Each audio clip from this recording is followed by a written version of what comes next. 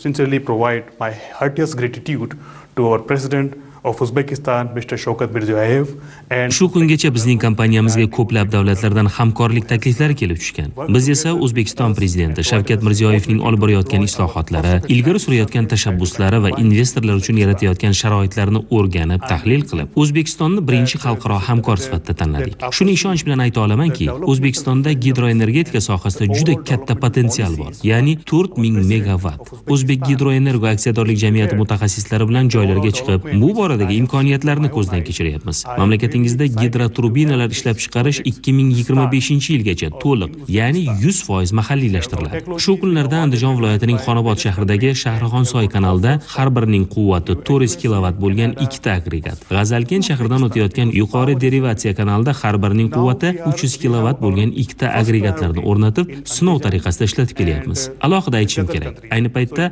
AQSh, Kanada, Avstraliya va Yangi Zelandiyadagi loyihalarni to'xtatgan holda ustuvor yo'nalish sifatida O'zbekistondagi loyihalarni amalga oshirishga kirishdik va bu yerda ishlab chiqarishni boshlab yubordik.